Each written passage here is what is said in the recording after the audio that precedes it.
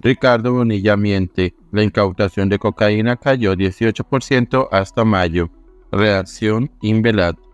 En un acalorado trino, el ministro de Hacienda Ricardo Bonilla da a entender que ha habido una gran incautación de cocaína durante el gobierno Petro y que debido a eso el precio de la hoja de coca ha caído. Esta declaración se a raíz de las críticas civiles hacia el ministro de Defensa Iván Velázquez, en las que se le cuestiona por el mal manejo de la seguridad nacional, dejando de lado esta última relación casual que él establece entre la incautación y el precio de la hoja de coca, sin ningún fundamento.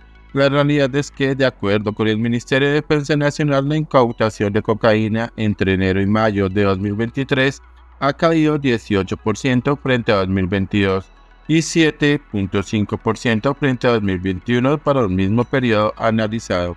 En los primeros cinco meses de 2023 se incautaron 257 toneladas de cocaína, mientras que en el mismo periodo de 2022 y 2021 se incautaron 312 y 278 toneladas respectivamente.